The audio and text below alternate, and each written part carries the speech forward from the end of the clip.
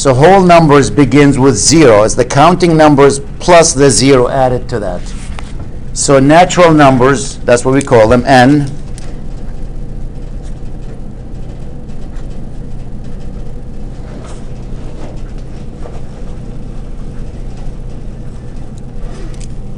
Are the counting numbers one, two, three, four, all the way to infinity.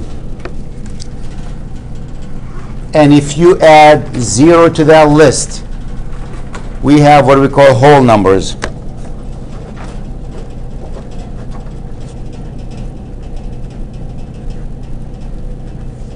Our book, I think, calls them H here instead of N. And these are all the counting numbers plus zero. So notice we are not going to be dealing with negative numbers for a while, not in this chapter at least. We are not going to be dealing with decimal values, not in this chapter. That's the next chapter.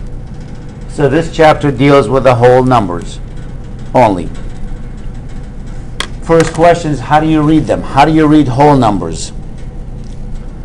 And each digit, so when you write a number like 2, 9, 7, 6, 4, each digit has a weight. You and I, we use base 10. When we count, our number system is known as base 10. So really, the weight of this location is 10 to the power of 0. And anything to the 0 power is 1. That's known as the ones unit. So the weight of this, that's 4 ones. The weight of this, that's 10 to the 1. What's 10 to the 1? That's a 10. This digit is known as the tens digit. The weight of this, we'll get to the square, 10 square, which is what? A hundred. We didn't talk about squares yet. That location is known as the hundreds. And so forth. The next one is 10 to the third, which is a thousand. So when you look at our number system, it's broken down like this. The first one is known the ones, the tens, then the hundreds. And what comes after that? Thousand, ten thousand, hundred thousand. What comes after hundred thousand? Million. Million. Ten millions, hundred millions, and what comes after that? Billions. Ten billions, hundred billions, trillions. Ten trillions, hundred trillions. Some of the big numbers, you hear about them, but you and I don't deal with them really. But you might hear Bill Gates is worth $70 billion. That's what Bill Gates is worth, somewhere around 70 billion. What does that mean, 70 billion? That's how much money he is worth.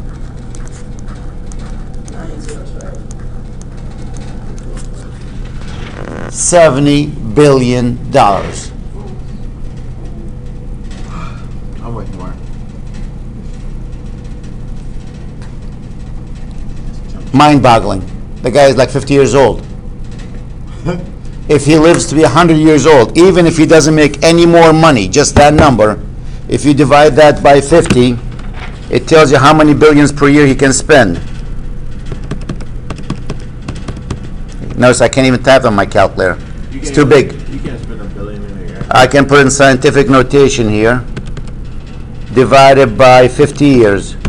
He can spend that much a year without running out of money. Divided by 365 days a year, he can spend about 3.8 million a day. Divided by 24, he can spend about 159,000 an hour divided by 60. He can spend 2,000, uh, is at 26, uh, $2,663 a minute. A minute. Divided by 60. Every second, he can spend about 44 bucks a second for the rest of his life. Day, night, evening, anytime. Before that money runs out. I like. Yep. Bigger than that, trillions, you hear about the US deficit, how much we owe China. China. We owe them 19 trillion dollars. Trillion. and counting every day. Yep. How come they don't just like fight us? Well, there's other ways to get your money back. You make a deal. You don't just go and kill people. That's Yeah. right. So 19, he wants to fight, go to war already over that. 19 trillion. That's a big number. Well, I'll give you, I'll make it simpler for you. How many people live in the USA? What's the population of the USA? About 300 million. So I solved the problem for them. I told Donald Trump and Hillary Clinton, I said, guys, I can solve the deficit for you. All we have to do, have each one of us give the government, I'll tell you now,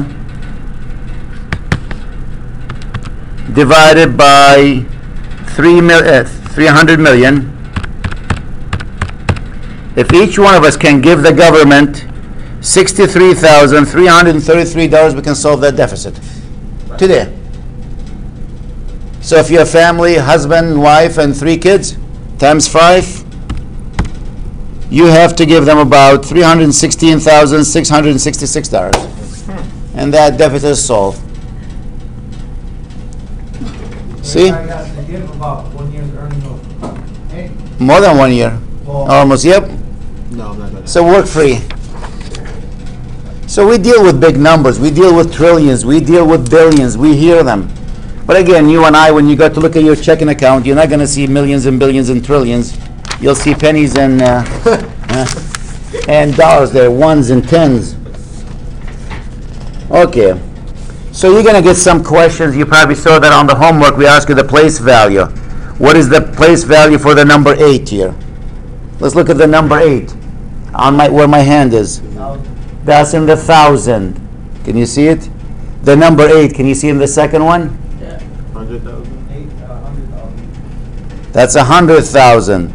The number eight here is what? What is it? No? Not hundred. Ten millions. Ten. And you can also do the number like if you have a number written like this in standard form. If you want to read that number, see that number? We break them into groups of threes. So that's what? One million. one million two hundred and thirty-four thousand and fifty-six.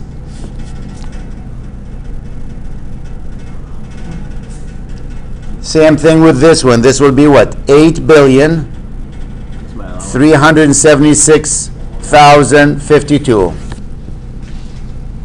you're gonna get some questions like these back and forth to take a number from here, the blue, to that standard notation. That's called expanded notation, that's standard. To go from standard to expanded, expanded to standard. As long as you know the weight of each digit, you're gonna be fine.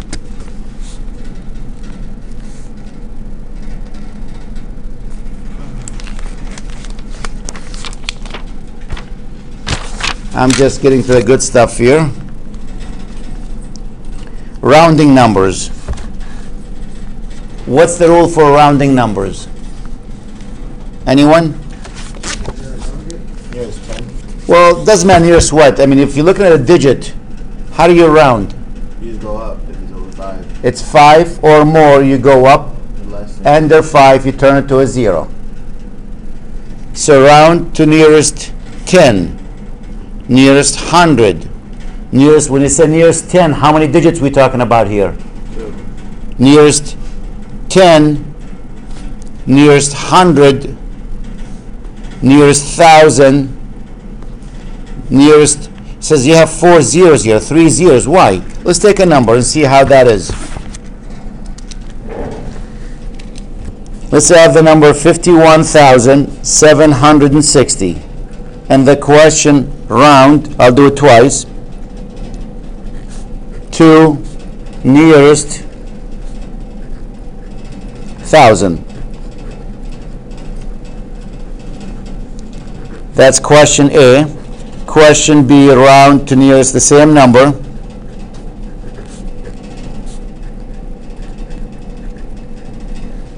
Ten thousand.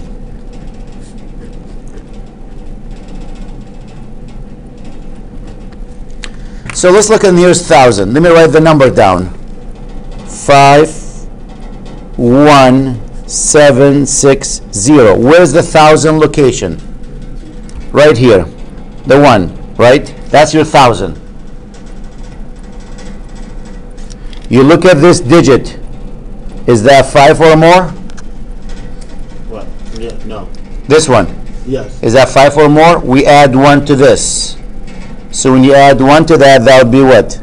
52. 52 and three zeros. So when you do nearest thousand, you're gonna have three zeros at the end. 10,000, you're gonna have four zeros. Again, let's look at the 10,000, same number. Five, one, seven, six, zero. Where's the 10,000? Right here. Is that five or more? So that would be what? 50,000. Notice nearest 10,000, how many zeros you have to the right of it? Four. Nearest 1,000, how many zeros to the right? Three. If I said round, question C here, to nearest 100.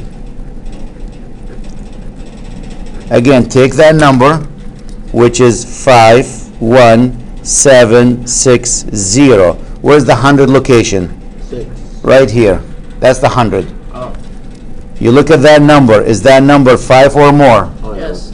Add 1 to that. That will be what? 51800. That 7 6 becomes 80. You're closer to 80 than 70. So to round again, here's the rules. Underline the place to which you are rounding. Instead of underlining, I'll put an arrow pointing on it. Well, it doesn't make a difference. Look at the digit to the right, directly to the right. If that digit is 5 or more, we add 1 to that underline number, or the one with the arrow on top of it. Add 1 to that. If it's less than 5, leave it alone. Don't add anything to it. Replace all the digits to the right of that underline with zeros. So that's the process we use. Sorry, use the bathroom. Huh? I could use the bathroom. Sure, straight ahead.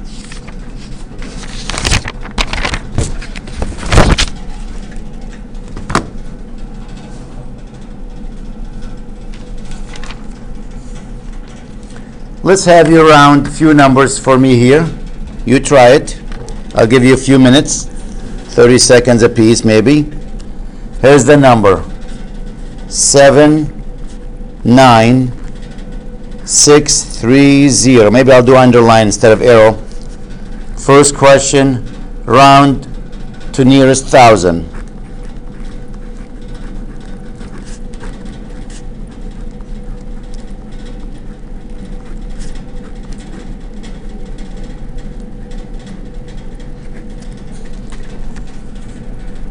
And the next question, round to nearest hundred.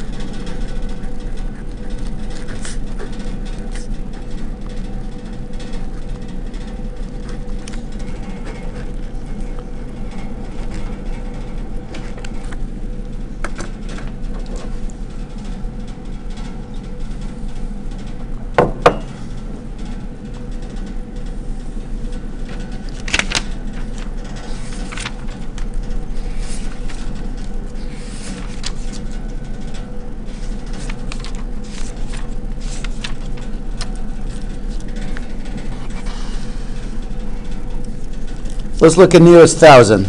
Hopefully you have enough time. Seven, nine, six, three, zero. Our book said underline the digit you want to round to. Nearest thousand, that's this one, the nine. There's the underline. Look at the digit to the right of that. That's this one. Is that five or more? We add one to this one. When you add one to 79, what are you going to have? 80. 80 and change the rest of them to zeros after that.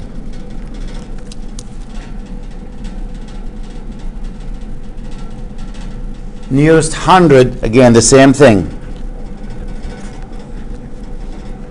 The 100 location is right here. Is that number 5 or more? Nope. Nope. Don't touch it. Leave it alone. Seven, nine, six, and the rest of the numbers will be zeros. 79, 600.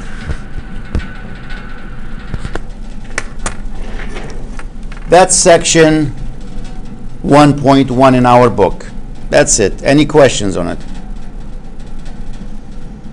The first chapter is really quick, short sections, basic stuff, doesn't take long. You're gonna see the next section, how do you add and subtract whole numbers.